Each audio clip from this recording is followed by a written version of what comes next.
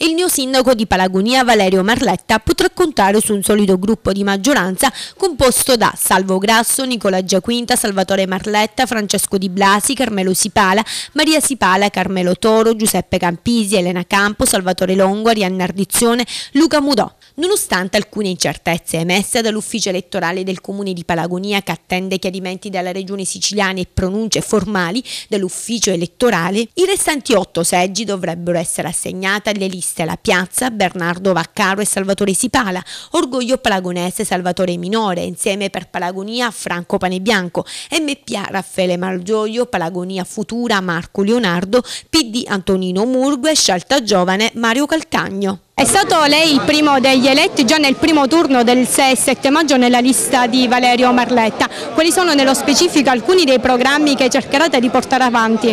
Le, le prime priorità sono l'agricoltura, l'urbanistica, la viabilità, eh, la trasparenza amministrativa e soprattutto un lavoro compatto, unito da parte di tutta la lista Palagonia Bene Comune, assieme anche alla Giunta e assieme al sindaco Valerio Marletta.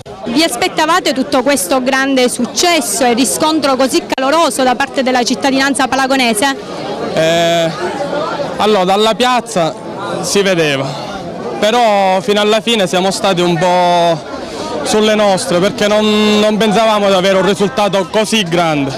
Però dico grazie a tutti i cittadini di Palagonia perché siete stati sinceri avete dimostrato quello che avete fatto vedere in piazza e quello che avete fatto vedere quando passavamo per le strade.